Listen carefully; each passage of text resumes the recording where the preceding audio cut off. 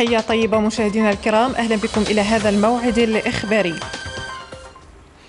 بداية تلقى أمس رئيس الجمهورية السيد عبد المجيد تبون مكالمة هاتفية من أخيه السيد محمود عباس رئيس دولة فلسطين المحتلة أعرب له من خلالها عن تقديره وشكره للجزائر رئيسا وشعبا ودولة على كل ما تقوم به نصرة للقضية الفلسطينية لا سيما القرار الأممي الأخير. بدوره أكد رئيس الجمهورية ثبات مواقف الجزائر ومواصلة دعمها لكل الجهود الدولية الهادفة إلى إحقاق الحق وتمكين الشعب الفلسطيني الشقيق من استرجاع حقوقه الشرعية. واتفق الرئيسان على زيارة سيقوم بها رئيس الحكومة الفلسطينية وزير الخارجية إلى الجزائر بعد عيد الفطر بحول الله. ترأس أمس الوزير الأول نذير العرباوي اجتماعا للحكومة خصص لدراسة مشروع تمهيدي لقانون يتعلق بالحالة المدنية الذي يندرج في إطار تطبيق تعليمات السيد رئيس الجمهورية الخاصة بتحسين الخدمة العمومية لفائدة المواطنين والجالية الوطنية بالخارج من خلال تعزيز الإطار القانوني المتعلق برقمنة الحالة المدنية. وفي إطار تنفيذ مشروع التحول الرقمي الشامل الذي أقره السيد رئيس الجمهورية استمعت الحكومة إلى عرض حول التقدم الحاصل لمشروع رقمنة قطاع التعليم العالي والبحث العلمي وتطوير أساليب تسيير المؤسسات الجامعية فضلا عن عصرنة تسيير الخدمات الجامعية بشكل يساهم في تحسين الحياة الطلابية وترشيد النفقات العمومية في هذا المجال.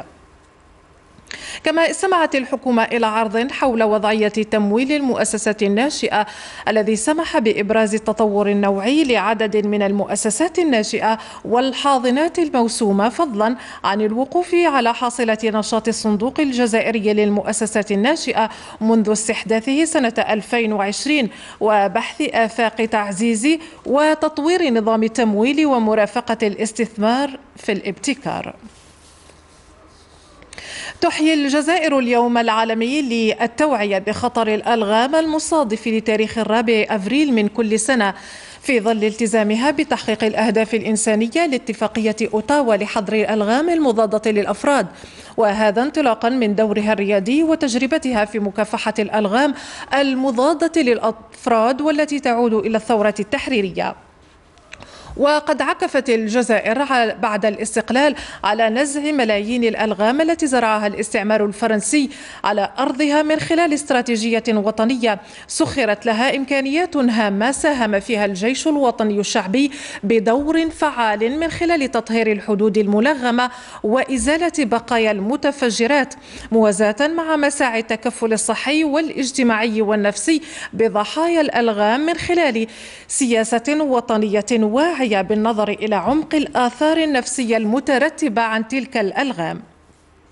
وبالمناسبة يشرف اليوم وزير المجاهدين وذوي الحقوق العيدر بيغا على ندوة تاريخية بالمتحف الوطني للمجاهد إحياء لهذا اليوم الذي سينظم تحت شعار زرع الألغام جريمة مستمرة ضد الإنسان والبيئة. خلال زيارته أمس إلى ولاية تيزي وزو أكد رئيس المجلس الأعلى للشباب مصطفى حداوي أكد على ضرورة تكريس التكافل الاجتماعي في المجتمع والتشجيع على العمل التطوعي وهذا على هامش تنظيم مأدوبة إفطار بمناسبة شهر رمضان الفضيل.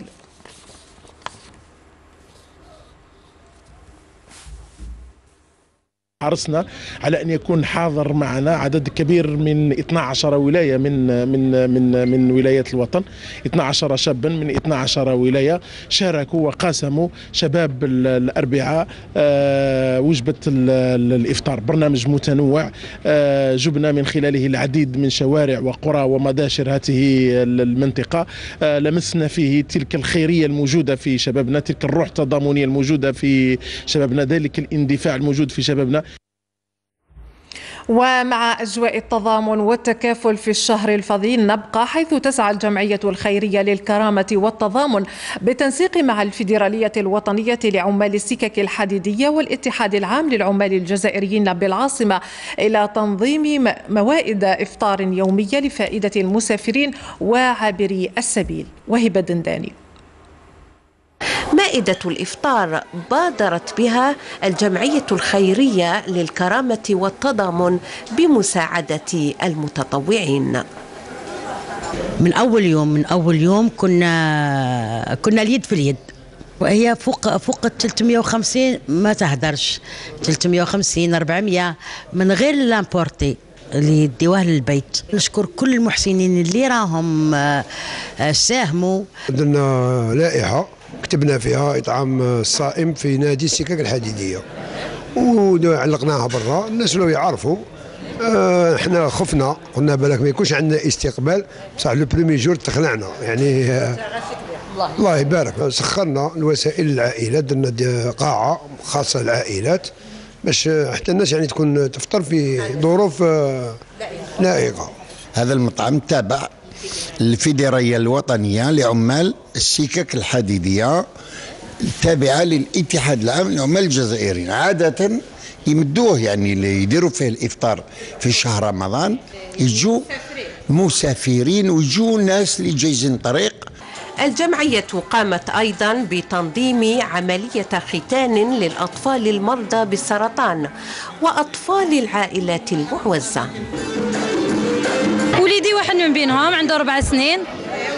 تختن والحمد لله وجاز très bien و... وراه يبرا. الأطباء كانوا موجودين les paramédicaux كل عمال المستشفى عاونونا اللي شد اللي جاب ال matériel. والاطباء الثاني شاركونا وراهم في صحة جيدة. عملية خيرية أدخلت البهجة إلى قلوب هذه العائلات الجزائرية. دوليا وفي فلسطين المحتلة يتواصل العدوان الصهيوني على قطاع غزة لليوم الواحد وثمانين بعد المئة حيث استشهد فجر اليوم ثمانية فلسطينيين على الأقل في غارات نفذها طيران الاحتلال على مدينة رفح. كما شهدت مدينة دير البلح وسط القطاع قصفا مدفعيا وجويا. في حين تعرضت خيام النازحين بمنطقة المواصي بخان يونس لرصاص الاحتلال أسفر عن استشهاد وإصابة العشرات. يأتي هذا ساعات فقط بعد ارتكاب الاحتلال الصهيوني ستة مجازر بحق العائلات في القطاع خلال الأربع والعشرين ساعة الماضية. راح ضحيتها 62 شهيدا وعشرات الجرحى لترتفع حصيلة العدوان الصهيوني إلى أكثر من 33 ألف شهيد وما يفوق 75 ألفا جريح ناهيك عن آلاف الشهداء تحت ركام المنازل. يحدث هذا في وقت علقت فيه الأمم المتحدة عملية المساعدة الإنسانية التي يقوم بها عاملوها في غزة ليلا بعد اغتيال الكيان الصهيوني لموظفي الإغاثة الإنسانية الاثنين الماضي. يواصل الاحتلال الصهيوني إذا استهدافه لمناطق عدة من غزة. استهداف طال الفلسطينيين وأطقم الإغاثة الإنسانية العاملة بغزة. مراسل التلفزيون الجزائري وسام أبو زيد. لم يكن يعلم الفريق الإغاثي الدولي أن مصيره القتل من قبل جيش الاحتلال الإسرائيلي واليوم يخرج من غزة وهو يحمل على الأكتاف. هو مصير سبعة أجانب كانوا في غزة منذ بدء العدوان يقدمون وجبات طعام لآلاف الفلسطينيين لكن قذائف الحقد الإسرائيلي سبقت أياديهم الممتدة لتحسين الظروف المعيشية للفلسطينيين طوال ستة أشهر من العدوان.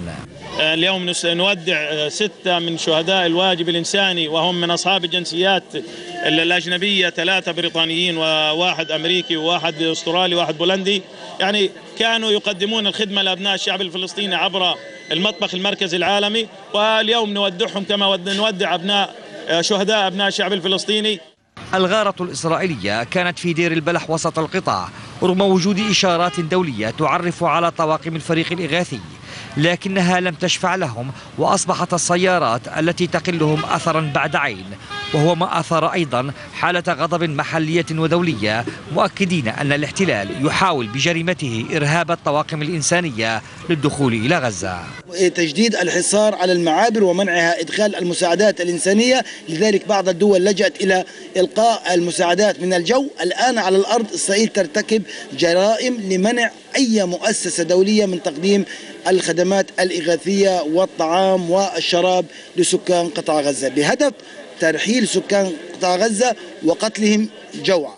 فالعدوان الإسرائيلي المستمر منذ 180 يوما تتوسع فيه حلقات الإجرام الإسرائيلي من قصف المنازل والمذابح الجماعية وسفك دماء الأبرياء إلى قطع المساعدات عن المحتاجين ليزداد أعداد الشهداء إلى نحو 33 ألف شهيد وإصابة أكثر من 75 ألف إصابة ولا ينتظرون سوى الموت لقلة العلاج في مستشفيات القطاع فقتل الفرق الإغاثية على مرأى ومسمع من العالم بأسره هي جريمة إسرائيلية مكتملة الأركان ولا تحتاج إلى المزيد من الإثباتات وتضاف إلى سجل جرائمه بحق الشعب الفلسطيني منذ أن بدأ العدوان. وسام أبو زيد التلفزيون الجزائري فلسطين. في الرياضة تلعب اليوم وعلى مدار ثلاثة أيام مباريات الجولة الثانية والعشرين من بطولة الرابطة المحترفة الأولى.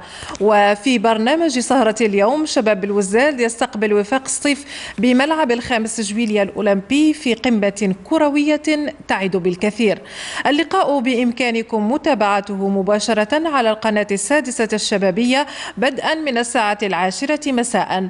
هذا ويأتي جدول المباريات كاملا لهذه الجولة. الجولة على الشكل التالي.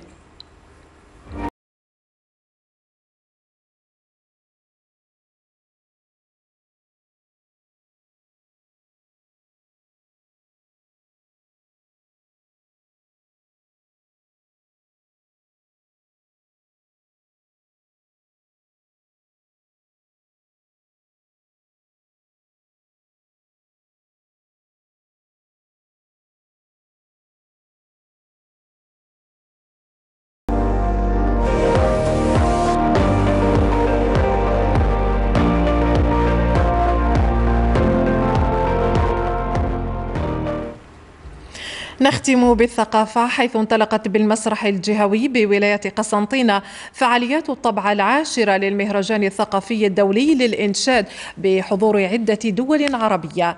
الجمهور القسنطيني سيكون على موعد مع مختلف عروض الإنشاد التي ستدوم إلى غاية السادس من الشهر الجاري. المزيد مع رضا برمسين وفي الليالي العشر الأخيرة لشهر الفضيل تحتضن قسنطينة فعاليات المهرجان الثقافي الدولي للإنشاد وهذا تحت شعار عجل إلى الجنان. هي طبعة خاصة بفلسطين التي تحضر كضيف شرف. نستضيف دول عدة تونس مثلا إيران أندونيسيا سوريا فلسطين. فلسطين هذه الأخيرة لأجلها هذا المهرجان هذه المرة؟ المهرجان هو محطة من المحطات ضمن خارطة المهرجانات التي حرصت وزارة الثقافة والفنون على متابعتها ومرافقتها سواء من الناحية التنظيمية ومن الناحية المالية أو من ناحية أيضا التقييم لاحقا. لدعم مثل هذه التظاهرات. عرض الافتتاح كان باهرا مبهرا بعرض من فرقة القبة التونسية والتي أخذت الكل إلى عالم صوفي عبر دعوات دامت أزيد من نصف ساعة. عرض القبة هو عرض موسيقي صوفي آه، تونسي آه، الإنتاج لكن موسيقى نتاعو تمثل آه، تونس وشمال إفريقيا وحتى العالم العربي. إلى جانب الموسيقى المصاحبة. إحنا نخدموا على دي سونوريتي حتى من العالم الكل. إلى جانب الحضور الغفير حفل الافتتاح وافتتاح هذه الطبعة العاشرة لهذا المهرجان. شهد تكريم فنانين مروا على هذا الركح. وعبر هذا المهرجان من تركيا سوريا مصر والجزائر. نشرتنا تمت أما برامجنا متواصلة على التلفزيون الجزائري. متابعة طيبة والسلام عليكم.